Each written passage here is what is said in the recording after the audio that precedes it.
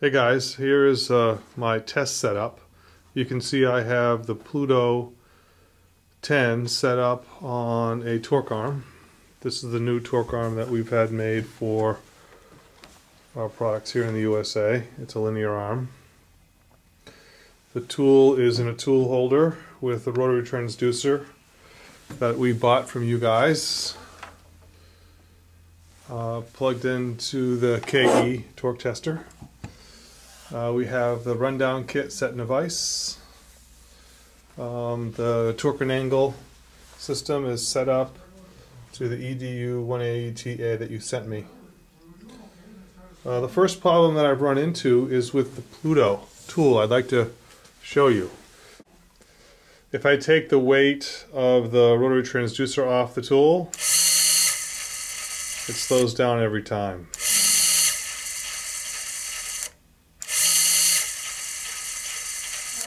With the rotary transducer on, it's intermittent whether it will run through the break time or not. Now it's not. Now it is. Now it's not.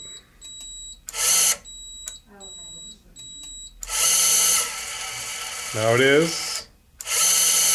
Now it is. Now it's not.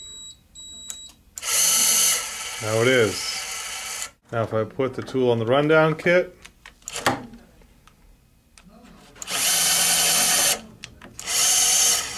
now it just ran down all the way. Good joint. That won't. That won't.